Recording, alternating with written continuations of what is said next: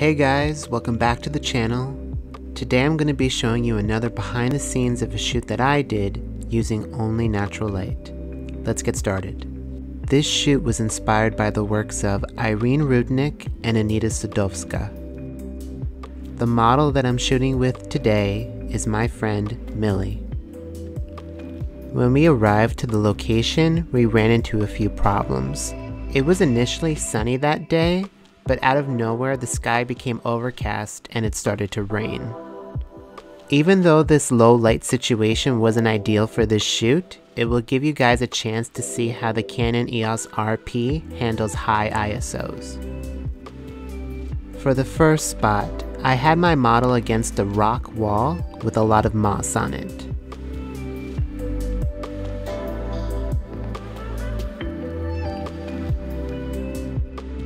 Because of the lighting conditions, all the posing had to be with my model's face turned up toward the sun. My favorite lens to use is normally the 85mm, but because this shoot had more of an editorial feel to it, I decided to use my 50 and 35mm lenses too.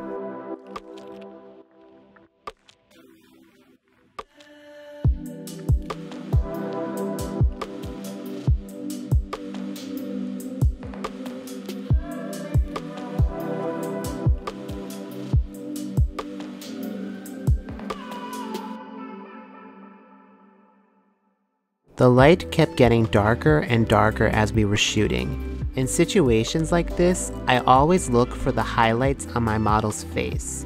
As long as I can see some highlighting, I know that the shot is usable.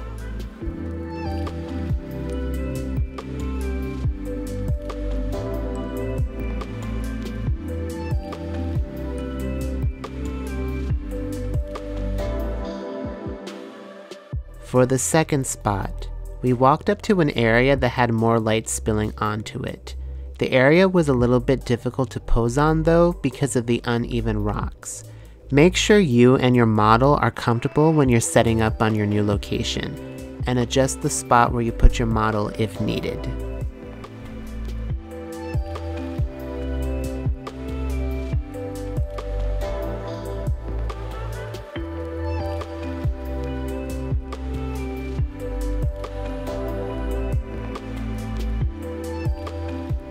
I had my model sit on this giant rock underneath the leaves. The clouds are breaking up a bit, creating a spotlight effect on this rock.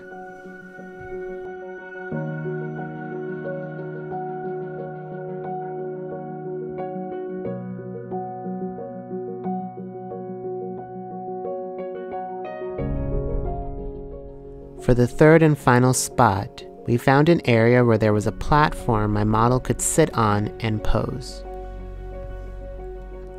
The clouds were finally breaking up and the sun was starting to come out.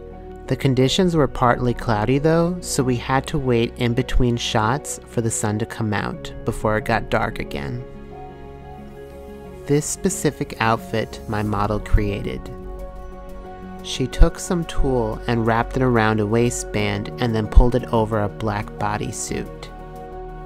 The skirt was giving us a little bit of difficulty though, it was important that the skirt laid flat because when it was bunched up, it wasn't visible against the dark rocks.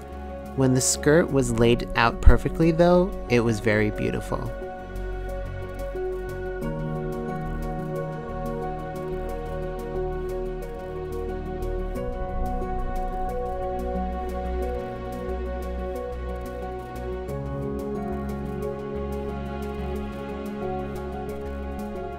My model then changed into the last outfit. She let down the straps and let the dress drape on her.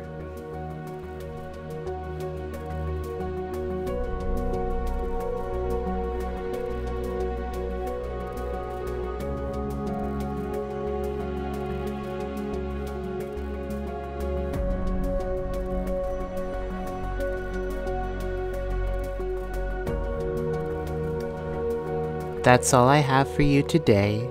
Thank you to everyone involved in this shoot.